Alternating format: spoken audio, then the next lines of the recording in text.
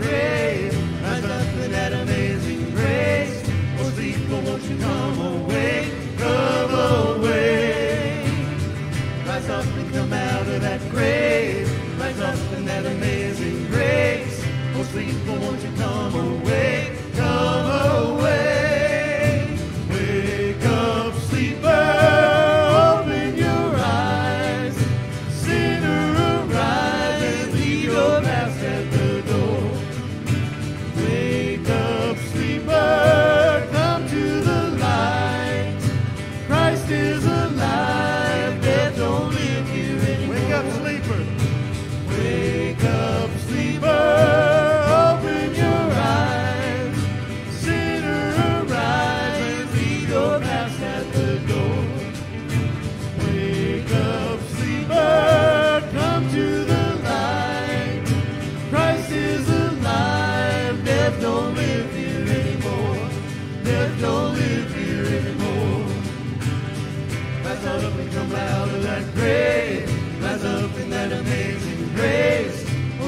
little ones, come away, come away.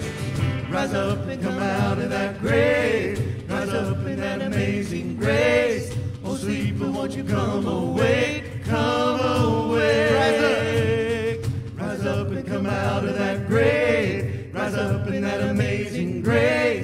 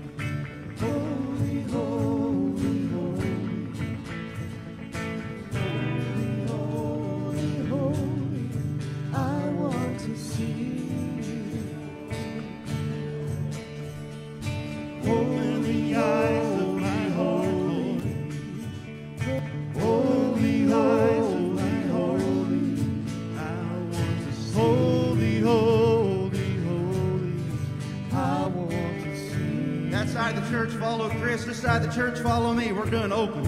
Open the eyes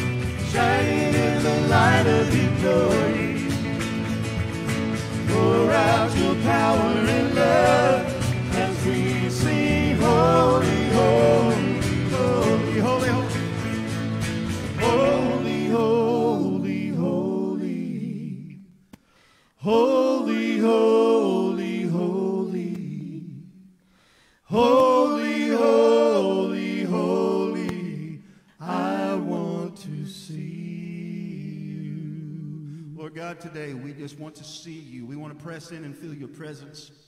Lord God, I pray that you would show yourself, reveal yourself today in a very mighty and powerful way to us in this room. Father, for your word. We love you, Lord. And we just pray that you would enter the room, enter our hearts, Lord, and touch us. Leave, leave us, Lord God, different than when we, uh, when we came in here today. It's in Jesus' name we pray.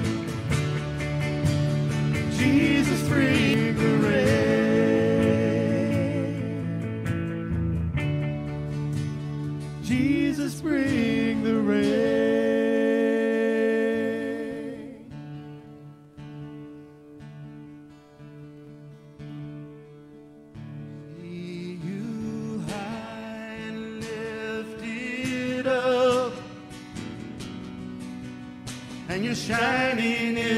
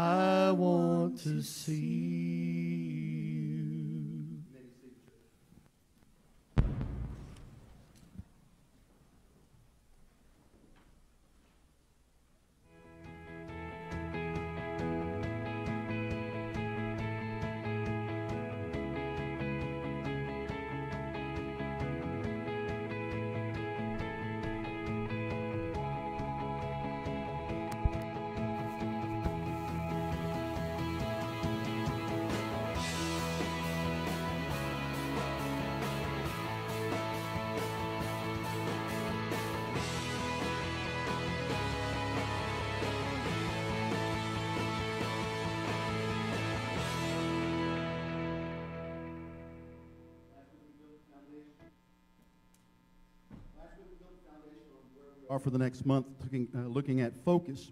Last week we talked about focus on our mind and how our minds have negative thoughts, positive thoughts, evil thoughts, bad thoughts, and we've talked about taking those captive for the kingdom. Today we're going to learn a little bit about our eyes in the process of focus because primarily the two things that go out of focus first is our mind and our eyes. And ultimately, Jesus is where we want our focus. Ultimately, that is where we want our gaze to fall upon. And that is the second part of what this series is. The first part was focus on the focus on the uh, the thought, the mind. This one is focusing in on Jesus. Uh, we're going to be in Matthew chapter 14 uh, this morning, uh, just as we were last night. Uh, but what I want to give you is a little bit of the background. The passage that we're going to be in, Jesus had just fed the 5,000 with a couple of uh, fish and a couple of loaves of bread. It was already a big day. And they had this big day. Jesus sends the disciples on ahead of him just a little bit. He says, Boys, I'm going to go up here to the mountain. I'm going to pray by myself.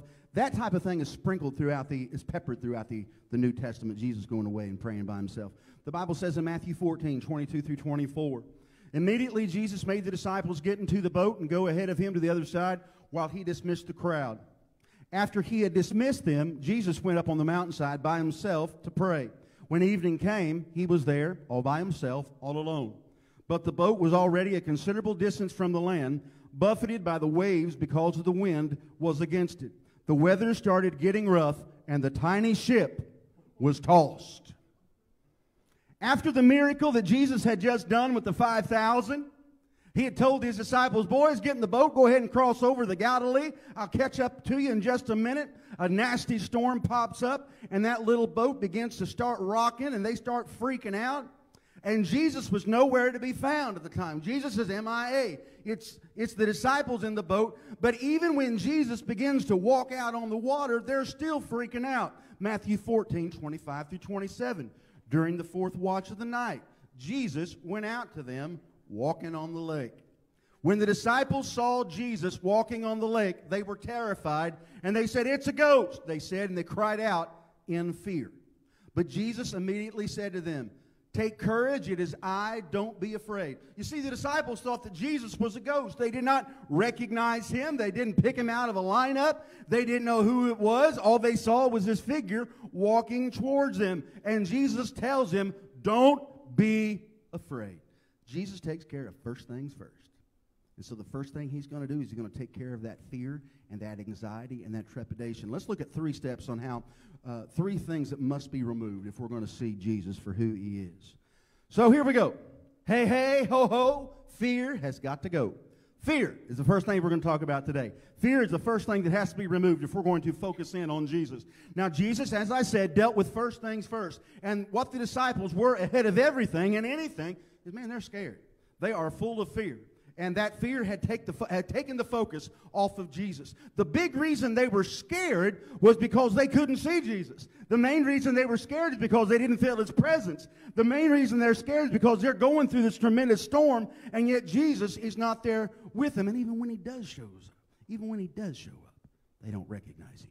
Even when he does show up and he manifests, they, they don't think that it's him. And these men had been rolling with Jesus for quite some time, y'all. They had seen Jesus feed the 3,000, the 5,000. They had seen Jesus give sight to the blind man. And the, the dude who couldn't hear, man, he can hear now. And the guy who, had a, uh, who, who was mute, Jesus had loosened his tongue. Jesus had done all the cool stuff.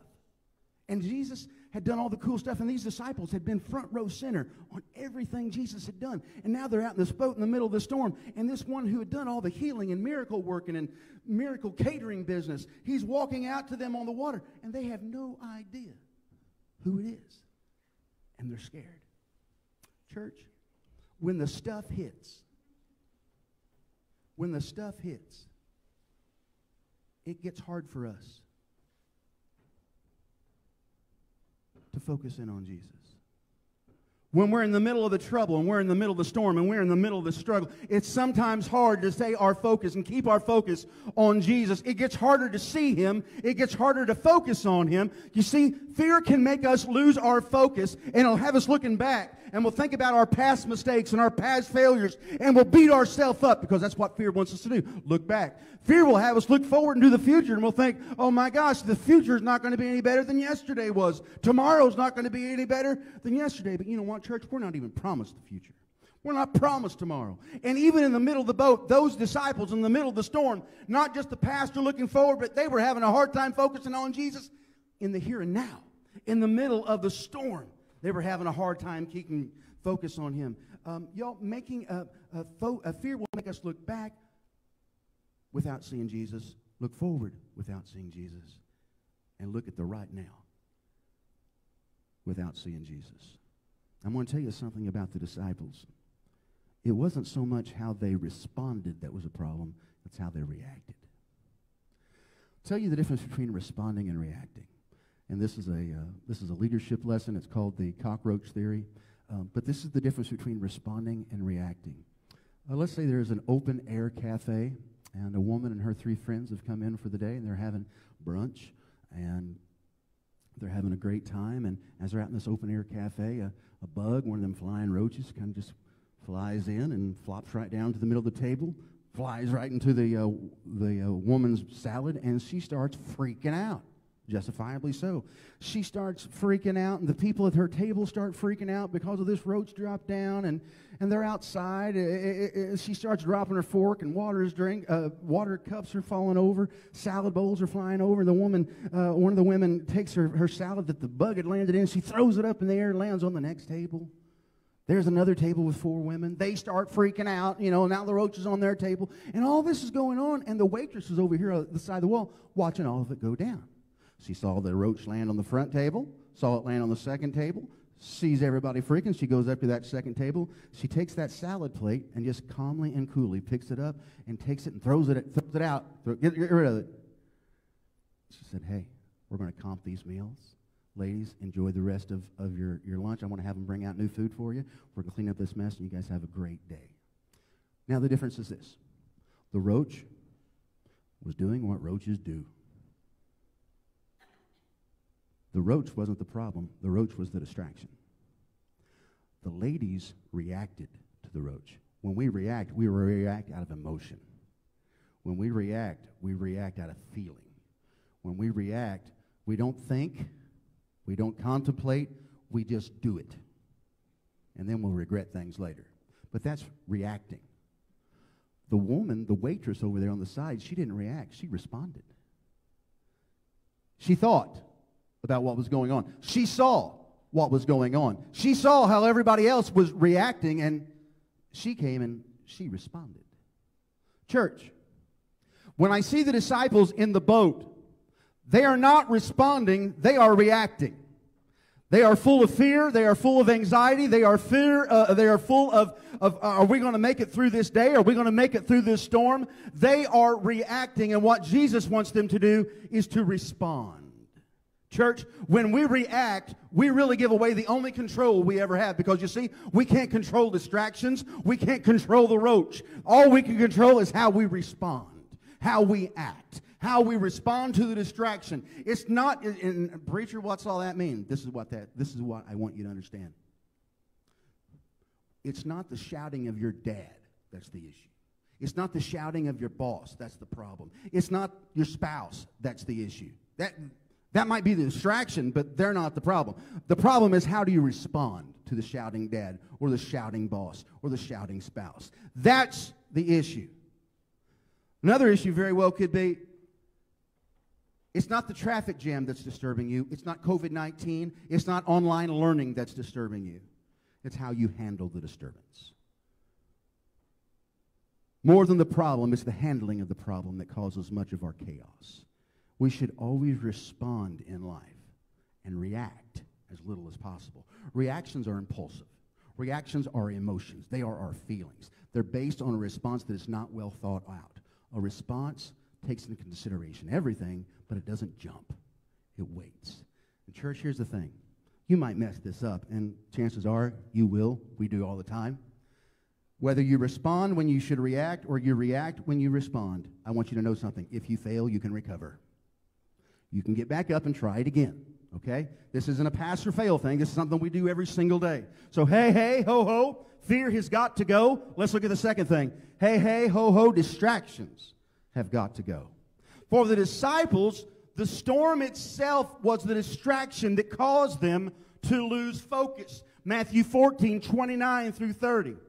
Come, Jesus said. Then Peter got out of the boat. He walked on the water and he came towards Jesus. But when he saw the wind, he was afraid. he began to sink and he cried out, Lord, save me. Church, there are all kinds of distractions that took Peter's eyes off of Jesus. And, church, there's all kinds of distractions in our life do the same thing. Let me tell you something that I know about how the devil works in the church. If that old serpent can't destroy what God is doing, if he can't destroy what God is up to, if he can't destroy what God is anointing, if he can't destroy what God is doing in a town, if he can't destroy what God's doing in the church, then the devil will realize, hey, I can't destroy it, so let me distract him. Let me get him hung up on COVID. Let me get them hung up on, uh, on how decisions are made. Let me get them hung up on everything and anything but Jesus. Church, the devil knows he can't destroy what God is up to, so he'll just try to distract the saints of God. Church, this is exactly what the devil does, and this is exactly what the devil did to Jesus. Jesus had just come off a 40 day fast, a supernatural fast, had not drank, had not eaten anything for 40 days. He went away and just for 40 days he prayed to the Father immediately after he was baptized. Church, this is a little bit of a lengthier passage. I'm going to read the, uh, I'm going to read the odd and I'm going to ask you to respond back with the even. Then Jesus was led by the Spirit into the desert to be tempted by the devil. Church.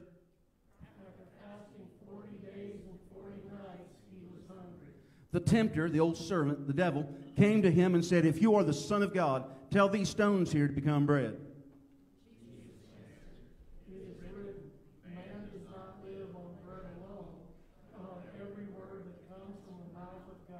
Then the devil took him to the holy city, Jerusalem, had him stand on the highest point of the temple.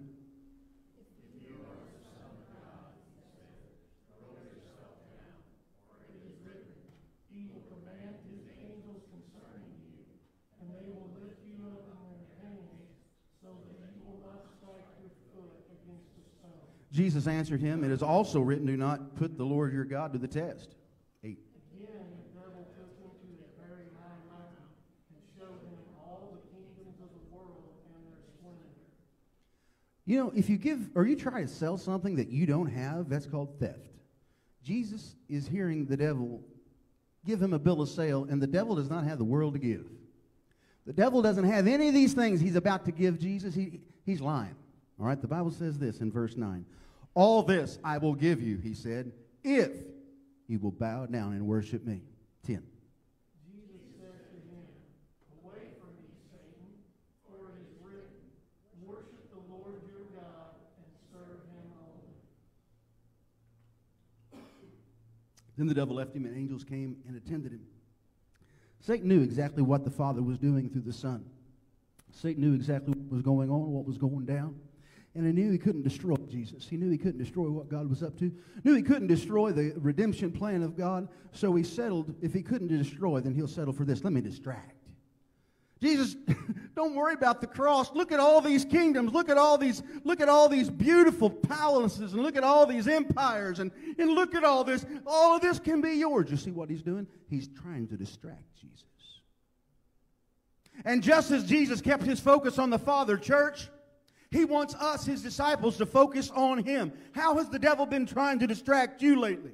Now, with Peter, we know it was the winds and the waves. Those were his distractions. Even after he started walking on the water, he saw the distractions and he began to sink. Church, some of us are like old Pete, but some of us are still stuck in the boat, too. Some of us never even get out of the boat because we're too scared. Yo, what's keeping you in the boat? Is it the fear of being canceled? Is it the fear of being called out for not agreeing with culture? What's keeping you in the boat? Do you fear about being rejected or, or seen as no front, fun or, or called the Jesus freak? What's keeping you in the boat? Peter knew that Jesus could keep him safe. He knew that Jesus could keep his head above water. He knew that Jesus could keep him from drowning, but he had decided to get out of the boat and get to walking before that mattered. Church, as soon as Peter was getting going good, he started looking left and he started looking right. When I was writing these notes, that old Stealers Wheel song came into my mind clowns to the left of me and jokers to my right. Here I am. And that's where I saw Peter. Winds to the right, waves to the left, and there Jesus is. And Peter begins to lose focus, and he begins to lose focus on Jesus, and he begins to sink. Scripture tells us that Pete begins to sink below the waves, and he calls out to one person to save him. It's not the, it's not the disciples. It's not one person in the boat. Jesus save me. Matthew 14, 31. Immediately, Jesus reached out his hand and caught him, and he said, Pete, you have little faith. He said, Why did you doubt? Jesus dealt with fear, then he dealt with distractions, and finally, hey, hey, ho, ho, doubt has got to go.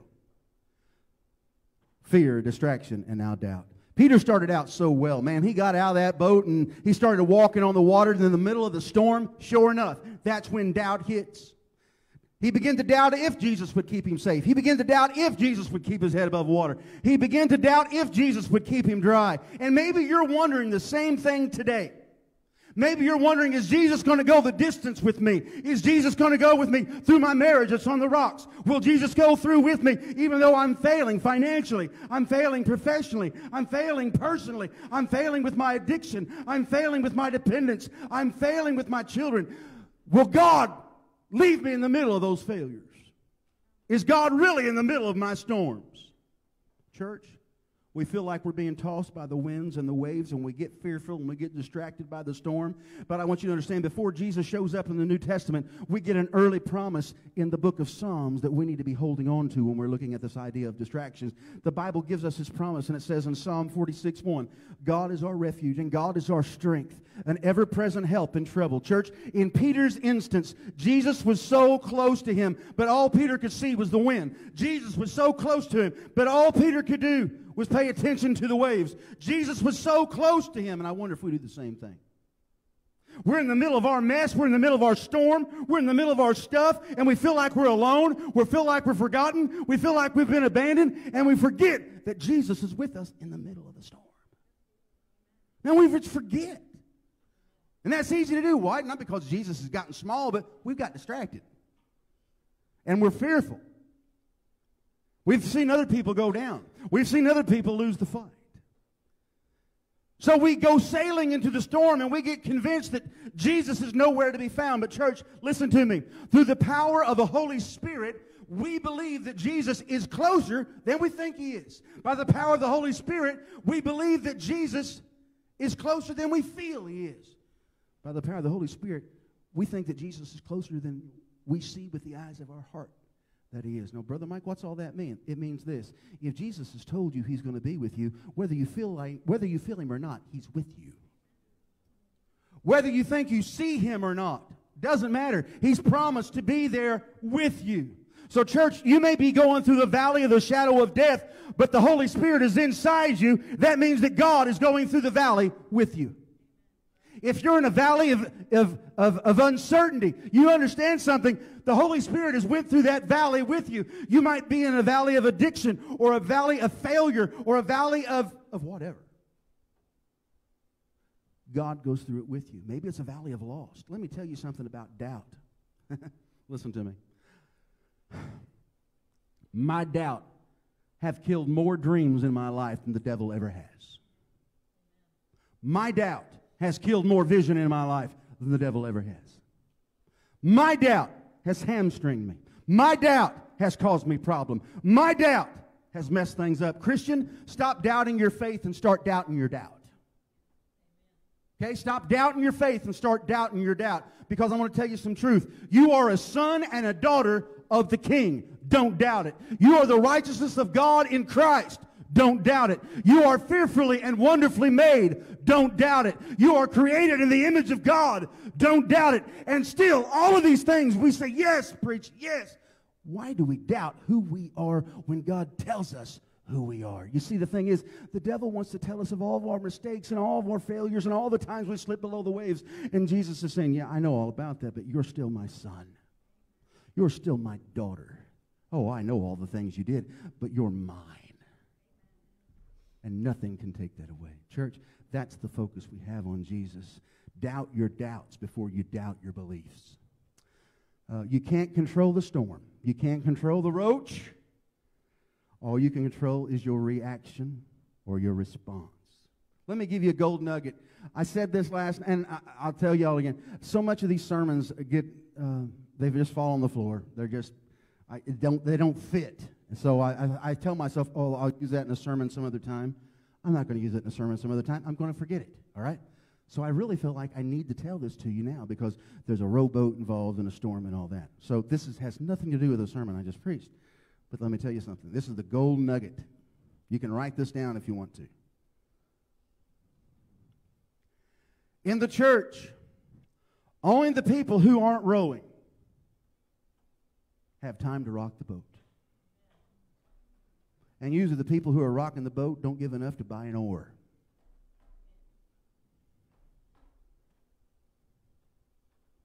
And I tell you that because not every voice in the boat is worth listening to. Not every voice in the boat is worth listening to because I want you to understand something. Remember in that boat that Peter was in? There were 11 other disciples. Can I tell you what they were saying? What are you doing? Get back in here! I don't know about you. I would have rather walked 12 foot in the water and then sink than never get out of the boat. Because what that dude has is a testimony. Let me tell you about the time I was going through a storm and my Jesus called me out and I walked and I walked and I walked and when I fell, my Jesus saved me. There's your testimony. But you don't get that if you don't get out of the boat. You don't get that if you don't focus on Jesus. Every head bowed, every eye closed. Church, you've been so good to listen to me today. Thank you. Every head bowed, every eye closed. We followed the disciples today, and we've caught, we got caught in a storm with them. Peter knew that the only thing he was going to get, the only way he was going to get to Jesus was to step out of the boat and to keep his eyes on him. Every head is bowed, every eye is closed. Church, the world wants us to focus on things of this world. If the world can get us to focus on wealth instead of Jesus, that's what it'll do. If the world can get us to focus in on things or wealth, earthly pleasures, then the world wants us to focus on those things instead of Jesus. And Jesus is saying, focus on me. Get rid of your fear, get rid of your distractions, get rid of your, uh, get rid of your doubt. So today, I'm not asking you how will you respond, uh, how, you, how will you react. I'm challenging you, how will you respond? Well, preach, how do I do that? It means you're going to have to know what decision you're going to make before your storm comes. Practice how you will respond. Practice how you'll respond to when the world that you're walking in just kind of draw, uh, drops from underneath your feet. Or you know you're going to go see that coworker on Tuesday, and you're going to be working with that dude or that dudette, and they just get on your last nerve. You need to decide right now, how am I going to respond to that person? You see, we've been watching the weather for a week to see how much snow we're getting, how bad the storm's going to be. Church, you know what storms typically, you know what kind of storms you're walking into this week. It's no big surprise, it's no big shocker. What if you begin to rehearse how you're going to respond? How you're going to rehearse how you're going to respond and still keep focus in on Jesus. Lord God, today I want to thank you for every person who's listened to this message, whether they are here in person or whether they're watching us online. Lord, I pray that we would focus in on you all the time. Lord God, that fear would be removed in the name of Jesus. Distractions would be removed in the name of Jesus. Doubt would be removed in the name of Jesus. Lord, let us respond in such a way that it exemplifies the faith and hope and confidence we have in you. And it's in Jesus' name I pray. And all the church said? Amen. Y'all, we are going to be starting a connect our connect groups uh, Tuesday, March 2nd online, and we are going through, uh, you'll get through this, Max Lucado's book. It's an incredible book. Uh, whatever this is, maybe you're going through a divorce. This is, that is your this. Uh, maybe, you're, maybe you got fired, then your firing is the this. Uh, maybe you're just lonely. You'll get through this. Uh, but it's an incredible book. We've been reading at the house, and it's a six week study. six weeks, you can do it online or you can do it um, in person in person will be Wednesday nights at 6, uh, 6 o'clock here at the church. Um, online is Tuesday night at 6. And you can go to chesterfbc.org to register uh, for that class. And we're excited about this. It's going to be cool. Uh, connect groups is how you can uh, connect with other people, love other people here in the church. It's where you make relationships, so I encourage you to come. All right, this is what we're going to do. Brother Bryce, is that you, buddy, in the back? Brother Bryce's road is going to go first. Uh, don't go until the row behind you has left first. Yeah, that back row. Back row.